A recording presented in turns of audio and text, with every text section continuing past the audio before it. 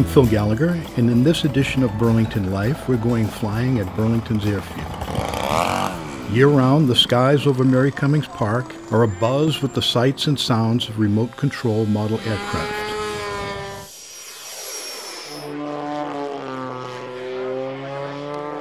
Since the 1960s, model flying buffs have been taking to the wild blue yonder here at Flyers Field, where we spoke with members of the Burlington Radio Controlled Flyers, Inc. Burlington RC Flyers President Howard Samuels. Explain to us what RC Flyers is. Well, we're flying planes, we're flying helicopters, we're flying drones, multi-rotors. People call them drones, but they're all drones. And we have electric ones, we have gas-powered ones, we have glow fuel, which is what you remember from the 60s, 70s, 80s. This field now is actually an airport. You can, you can find it on aeronautical charts. We have a, a letter on file with the Bedford Air Traffic Control Tower. So they know that we're here. We have certain flight restrictions and area restrictions that we can fly in. Now, this is Mary Cummings Park. Uh, what is the arrangement that you have formally with the with the City of Boston and now with the trustees? Mary Cummings Park was given to the City of Boston in a trust, and it was the intent was for the kids in Boston who didn't have a place to get outside and enjoy nature, that they could all come here. Unfortunately, there's no transportation that they can take to get here, so it's really been something that the city hasn't paid a lot of attention to. Except when they tried to sell it. That's right. They, uh, they try to sell it to developers and so on, but the trust was pretty well written. We're very fortunate that way. Take it off! So the trustees were granted, I guess, stewardship. We have we have an agreement with the trustees. They think that this open field and this vista here is an appeal of the park. So they made a picnic lawn just uphill from here so that people can sit up there and watch us fly the planes. I work during the week, so I'm here on weekend mornings usually. We have a lot of retired members who are here whenever the weather's best during the week as well. Because of the orientation of the runways, the mornings are better because the sun is behind our back, so you don't have the sun in your eyes when you're flying. As an electric engineer, Howard has a broad interest in the hobby. I looked around and I found the Burlington RC Flyers website, and it's actually on my way to work. So I stopped by there one day and met a bunch of people flying on the weekend. They were all very friendly guys. The multi-rotors were just beginning, so I, I became excited about that. I got into flying wing kind of planes, military planes. And I got into helicopters as well. Not multi-rotors, but actual helicopters. I'm an engineer, so I do, I do like messing around with the computer and fine-tuning, that sort of thing. The basic airplanes are more craftsman, hobby type thing. You can build them from scratch. You can buy kits. You can buy ones that are almost ready to fly. Just put your electronics in there, make sure the center of gravity is right, and you can, you can fly it that way. Some people like to fiddle with engines, whether it's in their car or on the airplane. So there's all different sorts of aspects to the hobby that different people take out of it. I like to make, I like to build and fly different kinds of drones. Of course, you can go to Best Buy and pick up a drone there and fly it and uh, do some photography. That's what most of the drones that you buy in the store are for photography, aerial photography, videos and, and selfies and things. Here's an example of uh, kind of home-built drone and you can add GPS onto it, you can put cameras on it, you can put gimbals. Right now I'm using this as instruction for people who want to learn drones because it is easier to fly. The race quads and the higher performance quads these are made of carbon fiber, so they're a little bit lighter. This is very thick carbon fiber, this particular one. It's very rigid, extremely rigid. I can't, I can barely flex it at all with, with a lot of force there. This one has red LEDs in the back, white LEDs in the front, as if you're driving a car. Anytime I want to put LEDs to help me with the orientation of something, I do that because it's easy to remember. On a race quad, you don't need that because you're not looking at the quad, you're looking through the camera in the quad. Something that you're flying aerobatically and you're, and you're watching it, I like to know the orientation. This is very small. It's very easy to get the orientation mixed up without the lights. And as soon as that happens, you might think you want to be going one way and it's facing you and it'll end up going the other way and crash very quickly. The micro quads that you fly indoors, sometimes they're 3D printed, sometimes they're made of plastic. This one uh, might look a little bit more familiar. It's a racing drone. There's a, there's a video camera in the front. You wonder why the camera's sort of pointing up because the drone is always moving forward very quickly and the camera is facing straight forward when it's doing that. This is small, it's pretty light. There are four fairly powerful motors on it, so it does go fast, it can turn very quickly. These two little antennas are for receiving the signals from my radio. The remote controller. And this antenna is the video transmitter to go back to me.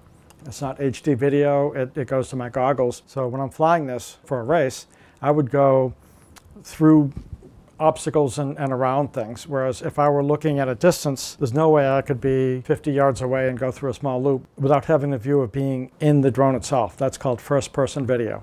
Club member David Iodice also shares an enthusiasm for many aspects of RC flying. I was looking for a new hobby, something new to get into, and at the time, aerial photography was starting to become a very popular thing, and I figured I would try it out. I would see what uh, what it took to get into it. My specialty specialty is the drones, specifically aerial photography. I, I got very very into it. I, I, loved like going out to parks, flying over lakes, because you get a view of nature and you get a view of the world through a drone that you wouldn't get any other way. So that that's sort of what was what brought me into the hobby and really kept me in because I, I, really look forward to getting finding a good place and getting those really really beautiful shots. So are you using the GPS to pre-program your route and things of that sort? I have seen people use that. I like to be in control at all times. That's the fun of it. Yeah, exactly. Like why have the why have the drone fly itself when I can control it and have it do exactly what I want? Plus you get those those exact precise shots that, you know, no matter how good the GPS is, it might not be able to put the drone in the exact location you want it to. So what we have is sort of a whole spread of pretty much everything that I do that has to do with RC flying. Um, I do a little bit with what people consider the typical drones. Over here is an Autel Evo, which is the small one over here and then an Autel Explorer over there, which is sort of their older model, but still fun to fly. Those are the ones that people usually get those like nice swooping shots with and, and really beautiful aerial views, steady camera. And it's typically what most people think of immediately when people say the word drone. On the other side over here, this is what you'll see more often with the club. This is a model of a Trojan. It's a very, very fun plane to fly. A lot of the guys in the club have planes more similar to this than anything else. In, in fact, the reason that I purchased this plane in particular is one of the events that the club holds every year is called a Warbird Day, where the club members bring all of their historical planes. You know, we have Mustangs, Spitfires, all sorts of like really fun you know, beautiful looking World War II, World War I era planes. That's part of what the club is for, you know, it's for holding these kind of events. It's for bringing all of us together so that we can show off each other's planes, fly together. Uh, sort of in the middle here is where I drift into my DIY version of drones. What people sort of don't know until you dive into the hobby this right here is a fully assembled drone that is fully programmable. I, I, can hook it up to my laptop and I can change how it flies, I can change how it responds. It's very much full touch, but unlike the aerial photography, it, it's controlled completely by controller. There's no GPS stabilization, there's no automatic return to home. If you lose it, it's lost. The camera in the front here feeds directly into these goggles. These goggles have a little bit of a uh, camera in the front and it feeds the video directly into here so you get that feeling like you're actually flying. It's, it's amazing.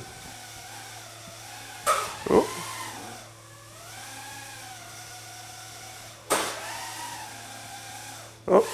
And then over here is, uh, this is my project in the works. Similar to how you would buy a, uh, a kit for a go-kart or a kit for a car or something like that, you, you buy all of your parts. And the great thing about this is that each part is chosen by me for a specific purpose. Everything is unique here. And when I put it together, it's going to be a drone that is completely unique to me, that, that I fully assembled. Over here is the, the board. This is the brains. Everything sort of connects to that. This is the motor. This right here is the camera. And the frame is right over here. And I'll probably spend a weekend soldering this all up together so that it'll be very similar to this drone right here when I'm done. Now, have you had any problems with birds attacking your drones while you're in these locales? No, never. No. no hawks coming down on them. No, no. Um, you'll see them. You'll see them get curious, and they'll they'll sort of uh, they'll sort of show you uh, show you that they're not afraid, but they'll never come near you. And you're all electric, I presume? Yes, yes. Great. So tell us a little bit about the financial operation of the club. There's dues, I presume. Yep. The club is almost fully funded by its members. It's basically one of those things that helps drive the club. It allows us to mow the field, it allows us to take care of the property here, and it also allows us to do specialized events. So, back before the pandemic started, we had the chili frozen finger fly. Yeah, say that five times fast. yeah, right. Chili frozen finger fly. So, the dues allowed us to bring down some food and, and have a good time while we uh, brought some members down. Our president won't eat food unless it's from McDonald's, so nobody's poisoning him, right? It gives us a, an opportunity to do events like those for the members. New member events as well. And I understand you have a raffle and things of that sort. Oh, of course, yeah. Plane or a drone raffled off. Every single meeting we have some sort of raffle. Usually it's a plane or sometimes it might be a drone. The raffles at the club are, are more designed to give our members something additional to look forward to. We actually break even on those raffles more often than not. We're sort of very fortunate. We have our low costs, so we don't we don't have to spend that much money. We take care of the field and through a lot of volunteer work and a lot of donations, we end up taking very good care of the field. The other thing that we do to sort of help do fundraisers is we hold auctions. So it's it's a nice way to sort of not only you know sell your stock because some of the guys have just tons of planes hanging out in their in their garage. It's a good way to reduce what you have so you can buy new stuff, and it also gives other pilots an opportunity to fly something that they wouldn't normally have purchased. Doug Murray specializes in RC helicopters and has become quite the aficionado of radio controlled choppers in his 15 years with the club. With this RPM, RC helicopters are one of the more complex craft to learn to fly, and Doug started out by training himself on a simulator. this this radio is set up just like in real life, so that my fingers and my brain are basically trained. You know, they stay connected with the helicopter, so the, the simulation's the same. Just before I bought my helicopter, I was I was flying the simulator probably a good probably another six months. In the simulator, I actually self-taught myself how to fly. My first time going out and flying my helicopter, I was really nervous. I was all by myself, you know, beginner. I didn't know what this thing was to do.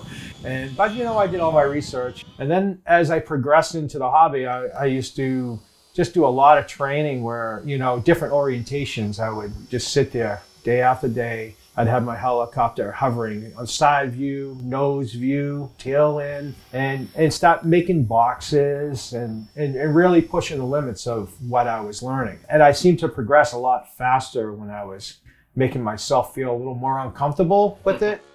If you don't push yourself in this, this hobby a little, so, you know, with helicopters, if you really want to progress, you really have to push yourself out of that box, you know, and, and, and feel that, you know, it's like, it's like when you first do your first maneuver. When I did my first loop, really gets the adrenaline rushing and you get nervous. You know, you have to learn how to work through that. When you freeze up, your hands don't work so well. So when you're learning and pushing yourself into that, where you're nervous or you have a fear of crashing, it gets a little easier as time goes on because you know you get the confidence and and your flying just gets smoother and, and better.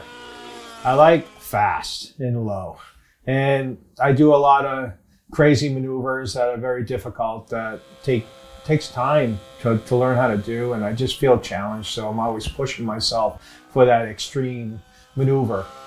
We call that 3D flying. So in the helicopter, we will have like 3D smack. So you bring it down the helicopter on the deck and do flips and rolls low on the deck. People think, you know, oh, he's going to crash or, or whatever, but it's all controlled. And I don't know. I, I think I'm a fast, uh, you know, people that don't know what the helicopter is, they, you know, they're like, oh, look at this. He's to crash or, you know, it's crazy, but it's, it's all in control and it's just a lot of practice. Some of the moves I, I learned for 3D, six months.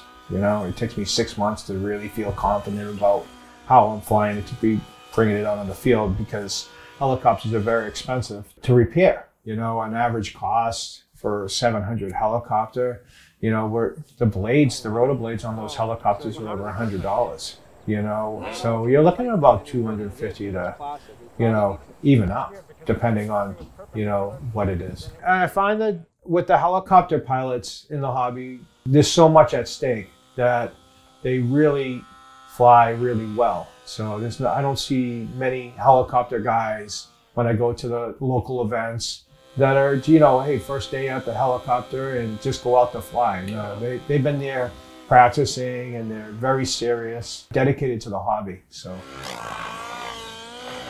you know, it's funny because people will say, can you fly slow? You know, and, and be honest, you know, I can fly slow. And when nobody's around, it, I'll do a lot of that practice stuff. I'll pick a small place, a small area. I used to fly in my backyard. I do like just nose in circuits, you know, just yeah. changing the orientations and challenging myself that way, slow. But, you know, I would put out cones and, you know, use the cones as different like areas where I would want to stop, change the direction and, you know, just to have a, you know, 100% control of that or as close as I could to 100% control. So, you know, if I want that helicopter to be in a certain area, first few times, I'm going to overshoot it or, you know, the wind could blow and I could lose orientation on it. So it's definitely challenging to fly slow. For Club Vice President Holger Wurz, RC flying is a family affair with his two sons, Jonas and Ben. A couple of summers ago, uh, my son Benjamin here is got really interested in the YouTube craze of flight tests. It's an organization, they, they promote flight and RC flying. And they get, make it really easy to enter the hobby with very cheap materials. So if you see the plane over there, that's built out of foam board, just poster board. And so it's really easy to get into the hobby for, for relatively low coin. And so we started building. And a couple of summers and winters, we just built planes in the basement. Uh, at some point, we ran out of space on our local soccer field, and we decided we should join the club. And so we, we came up here to Burlington and, and met a couple people and just joined up. And we've been here just about every weekend since February. Always wanted to fly, but I was never able to do it. My parents weren't into this and they thought it was a big waste of money, which, you know, we all admit it is. but it's great fun. So now with my kids being that age, I'm, I'm living out the dream that, you know, that, that I've had as a kid. But just a little push, right? You don't have to go full, full push. Jonas, he's almost ready to fly. Very nice. Very nice. You know, Ben is more interested in the building part of things, so he really likes more of the putting the things together and you know crafting in the basement. And uh, he's into photography, so he's taking he's doing a lot of videography and photography about of our planes. So we do more of that. You know, we are we're all having fun. I've only been flying since February, so I'm I'm still learning myself. So. Burlington RC Flyers Board of Directors member Pranav Biscuitwala taking off on the upper has his own unique perspective on RC flying.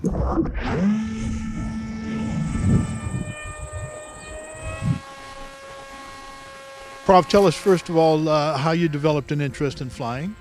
Um, I'm a radio frequency engineer with the T-Mobile, so I and I also love the airplanes. So these two things like kind of go together. So yeah, that's how I entered into a hobby. I love flying planes and I've done the real flight lessons. This is the closest to like flying a real plane because these wings are with the camera. Uh-huh. So I can virtually be in the cockpit. I can have the HD camera recording. Okay, so that comes right down to your radio controller. You have a you have a video screen right on your controller. Yes. So it's like virtual reality, only it's it's only it's reality, right? Yeah. now, how do is this your joystick up here? No, this is the receiving antenna, oh, like video receiving antenna, and this is the transmitter. This is the GPS. I see. This has pretty good range, like one mile, but we are good to cover this field. So I try to be close and in case I lose the signal or something happens I can flip the switch and with this GPS it will come back and start loitering around. The flying wing essentially this is like the, the B2 construction right? Uh, yep. And this is electric so your yep. lithium battery here? Uh, no battery goes in here this is the electronic speed controller so that controls the motor and this is the brain of this wing. Okay. So and this is a pusher prop, not a puller prop, right? Yeah, it's pusher prop, so it's okay. safer than the in the front. Right. Right. And what is your construction material here? Is this composite or is this foam? Uh, this is foam and these are like balsa. So it's a tough construction. Even if I hit, hit the ground like 20, 30 miles an hour, I can fly it right back again. But that's not the object, though, right? That's not the hit object the here, ground no. at 30 miles an hour. And what is the top speed on this rig? The- With this one, uh, 4S, 4000 milliamp hour, I recorded uh, 116 miles an hour. 116 miles an hour. So how long have you been flying? Taking off on the upper. Uh, it's been one and a half year. So this club is very friendly. Like when I joined, like I didn't know flying, I just had the interest. This is the bungee launcher. Oh, I see. So okay, I so you don't need hook- wheels. Yeah. And then just uh, put it on top. Snap it off with an And elastic. that's the bungee, yeah. Yeah. And by sitting on this chair, I can just pull it. Uh, I can either wear my goggle from the beginning or just pull it Put down it on when you're going. and then Crazy. keep flying. Beautiful.